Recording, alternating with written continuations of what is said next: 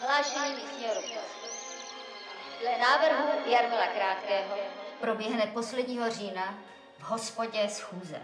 Je třeba probrat návrh Krátkého na rozdělení obce. Kdo se hlásí? Jitko? Máš Já se hlásím. Ale. Tak, já mám dotaz. Když se vesnice rozdělí, kdo bude jako dotovat moji prodejnu? Já bych to všechno dělil podle místa. U nás by byla nová prodejna, nová hospoda, nový všechno, my si to zadotujeme sami.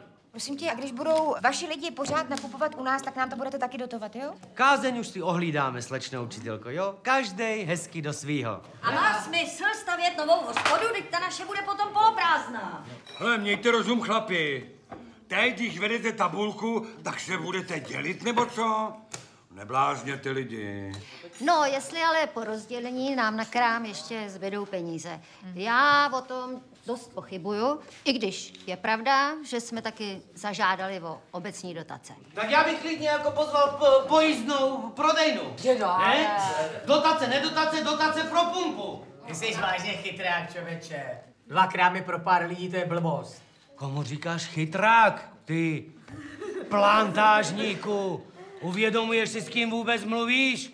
Kdo tady bojuje za vás, za všechny? Za koho ty bojuješ, prosím tě? Ty tu pumpu potřebuješ akorát ty. A vakuoval.